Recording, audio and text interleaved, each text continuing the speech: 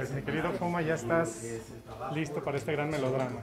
Ya estamos listos, contentos nuevamente de, estar con, con, esta gran productora y productor Nacho Larcón y Angelina Esma, que es mi tercer proyecto con ellos. Este, ya son familia, y igual que los directores eh, Sergio Cataño, Luis Eduardo.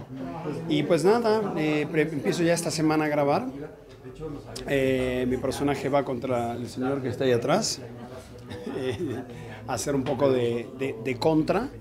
Eh, es uno de los villanos de la historia. Y pues esta persona es un, es un joven, no tan joven, pero mi padre ya está grande y empezamos a tener problemas dentro de, de, de nuestra compañía familiar.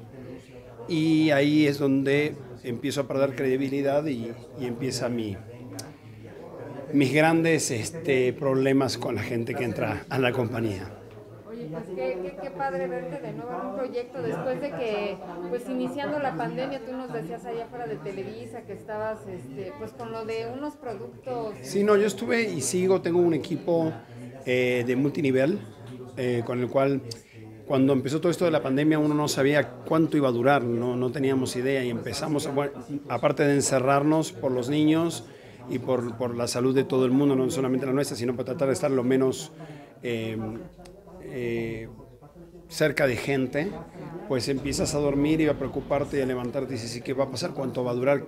¿Cuánto tiempo dura esto? No sabíamos ni todavía sabemos cuánto, va, cuánto le queda a esto.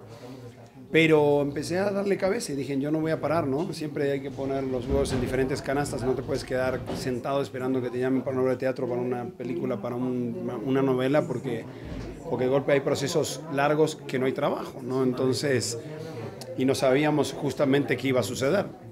Entonces empecé, me contactaron vía redes sociales, me hicieron una presentación vía Zoom, me interesó y me puse a trabajar. Y los niños creciendo, ¿verdad? Los niños creciendo como locos, ya tienen seis años y, y meses, este, estudiando, estudiando, estudiando, van muy bien, gracias a Dios. Esta semana pasada tuvieron tres exámenes y los tres sacaron 10, así que papá y mamá están... Va a estar a la mamá, de inteligente a la mamá. pero, pero sí, estamos muy encima de ellos, estamos procurando de que sean niños felices, procurando que tengan una buena educación, que crezcan con valores y básicamente haciendo todo lo que podemos por ellos, ¿no? Ramiro, eh, cuéntanos un poquito, también ya, finalmente ya estamos acabando el año, ya en un mesecito ya se nos fue. Eh, ¿Cómo te gusta a ti celebrar la Navidad o cómo se celebra en Argentina? ¿Qué platillo? No, allá se, yo, me fui de Argentina a los 19 años. Mi madre vive allá, me la traigo todos los años, sea a México o a, Miami cuando estoy en Miami o a Puerto Rico cuando estaban mis suegros vivos. Eh, ahorita con el tema de la pandemia no va a volar Em, nosotros no tenemos tiempos, vamos a, grabar, no vamos a tener días de descanso más que los, los Navidad, Año Nuevo, y mm, que caen en fin de semana y vamos a trabajar muy duro porque pues hay que, hay que darle, salimos en enero al aire, no sé cuándo, pero sí que en enero.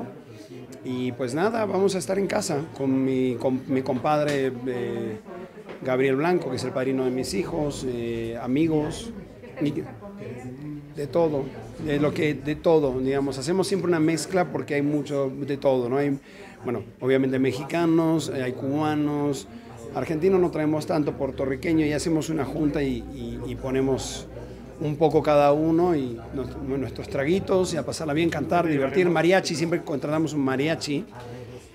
Eh, que siempre, siempre está con nosotros en todas las fiestas. Y nada, pues a pasarla rico, a agradecer a Dios que, que tenemos un año más de vida. Eh, agradecer que mis hijos tienen salud, que la gente, que todo se está poco a poco normalizando y pues nada, básicamente eso. Agradecer y pasarla rico también.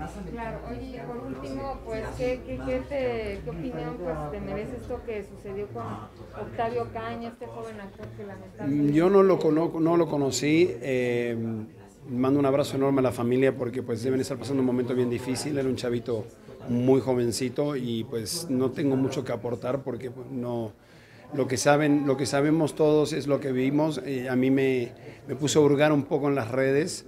Pensé que tenía un hijo pero no era hijo de la novia. Y pues que, que la familia encuentre consuelo no básicamente es eso. No no no tengo mucho más que aportar. Gracias, Rami. Gracias, gracias chicos, gracias.